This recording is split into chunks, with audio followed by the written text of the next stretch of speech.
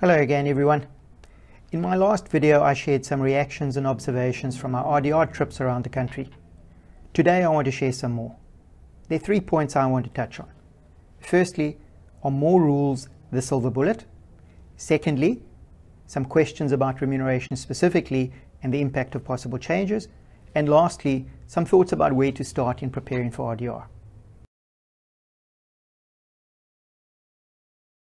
So let's start with rules, policing and sanctions.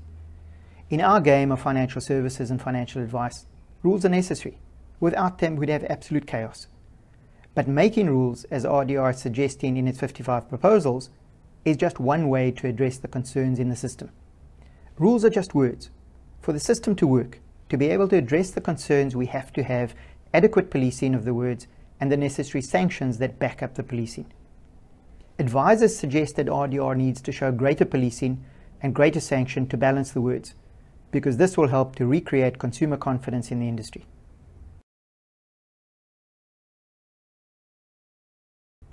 The next point is the one dealing with a question about remuneration specifically and the impact of possible changes.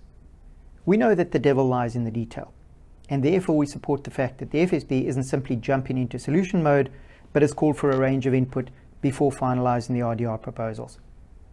However, advisors are still worried about the business impact of possible changes to commission, both long-term and short-term, because if some of the proposals go through in their current form, they'll have potentially significant impacts on cash flow, efficiencies, profitability and sustainability of advisors' businesses.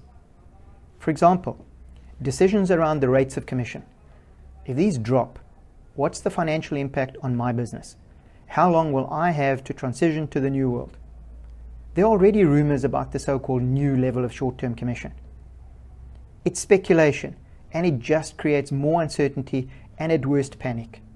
By all means, let's consider scenarios, but don't change your lives or your businesses based on these rumors. If there is no second year commission on life business, what happens to effective rates of commission? Will we just lose them? If commission is banned on replacement life business, will it lead to unintended consequences? Does the new rule simply swap one problem, for example, commission-driven churn, with another one? For example, less replaced policies, even though they'd be appropriate for customers. These are all really important issues, and they need more detail and more answers before advisors can act.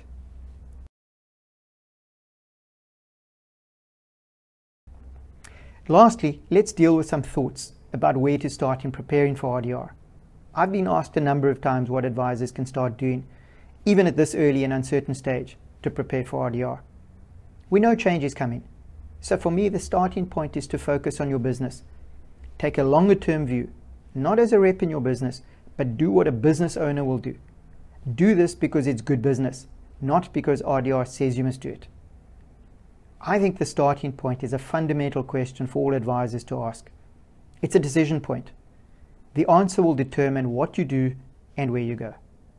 I believe that the one question, and it's difficult to find a single question, is do I want to be in this game in three years' time?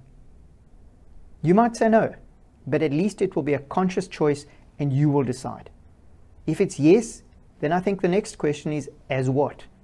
Using RDR language, do you want to be an IFA, a multi-tie, or a tied advisor? This is important because each status or designation has its own set of implications. You may already be clear in your own mind. If not, then start with what each one, IFA, multi-tie or tied, will be able to do and won't be able to do. Some things will resonate with you and the label will follow. Other things and labels you won't want. Whichever way you decide, it'll give you a clear starting point for the next step of decisions. And we'll deal with that in another episode. Till next time, cheers.